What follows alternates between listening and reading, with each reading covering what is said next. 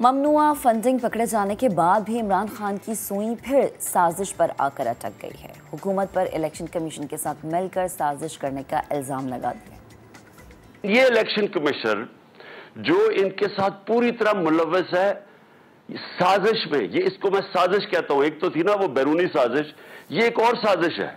वो पूरी तरह इसके अंदर मुलवस है ये जो सिकंदर सुल्तान है। सिकंदर सुल्तान का बताते हैं बना कैसे? न्यूट्रल्स ने अप्रोच किया हमें। उन्होंने कहा कि देखें ये फंस के हैं मुल्क आगे चल रहे हैं। तो ठीक बात की। तो हम आ, हम कहते हैं कि हम आपके लिए एक ऐसा कैंडिडेट दे देते हैं जो दोनों इतराज नहीं करेंगे। उन्होंने इसका सिकंदर सुल्तान का नाम दिया। मैं तो इसको जानता ही नहीं था। जब इसका नाम आया और जब हमने कहा चलो ठीक है अगर डेडलॉक हुआ है तो आप आप दे रहे कोई न्यूट्रल आदमी का नाम।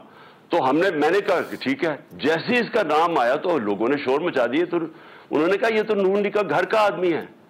मैंने न्यूट्रल्स को बताया, मैंने कहा, आपने कहा था ये न्यूट्रल है, ये तो घर का आदमी है। उन्होंने कहा, हम गारंटी लेते हैं इसकी कि ये न्यूट्रल रहेगा। हम पुरमन एहतजाज कर रहे हैं। रेड जोन में हम बिल्कुल नहीं आ रहे सिर्फ़ हमारे पार्लियामेंटेरियंस डेलीगेशन जाएगा इसको बताने के लिए कि हमें कोई इतमाद नहीं है। मैं बार बार कहता रहा हूँ कि मैंने सबको मैसेज पहुंचाई न्यूट्रल्स को भी, कि एक दफ़ा ये हिल गई आपकी इस वक्त इकोनॉमी। इंटरनेशनल हालात ऐसे हैं कि ये इन चोरों से नहीं संभाली जानी।